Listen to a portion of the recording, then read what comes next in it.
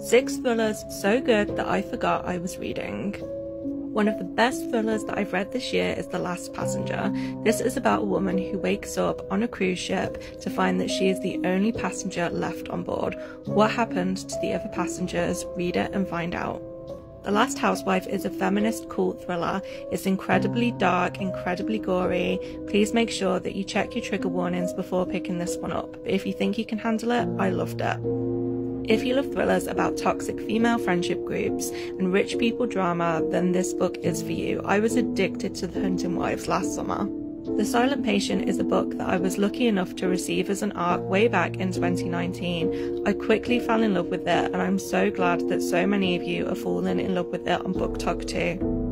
Another BookTok favourite, The Housemaid. This book is a favourite for a reason. It's so fun, it's so gripping. I absolutely loved my time reading this.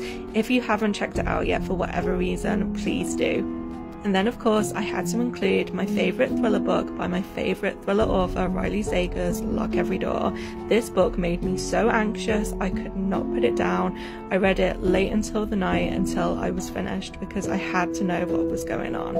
Please check out Riley Sager if you haven't already.